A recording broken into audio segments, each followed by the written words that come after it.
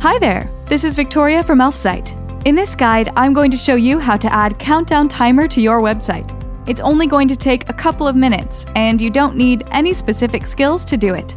First of all, let's go to elfsight.com and choose the countdown timer widget in the menu list. Click Create Widget. You can find the direct link in the video description. So, let's create your widget. Begin by choosing a template that suits your case best. Click Continue with this template.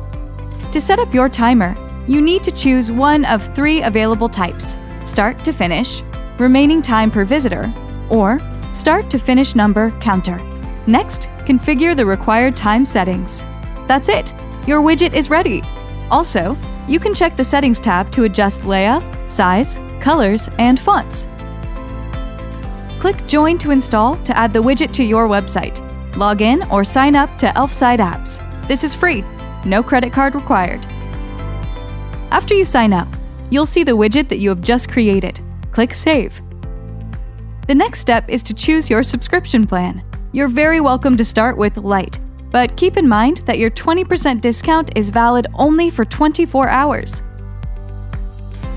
Click on the code to copy it and go to your website's admin panel. After you've logged in, choose a website for the widget.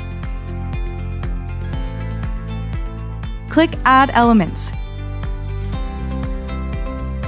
Drag and drop Embed element to the place where you need to display the widget.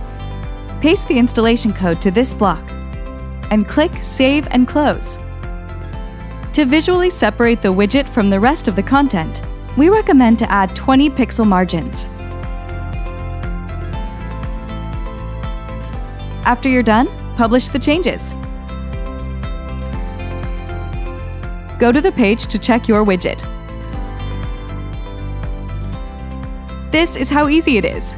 But if anything goes wrong at any stage, message us at support at elfsight.com. Also, We've got tons of cool and exciting widgets, and you're very welcome to try them out for free. Just click the link in the description. Thank you for watching this video. Enjoy your day!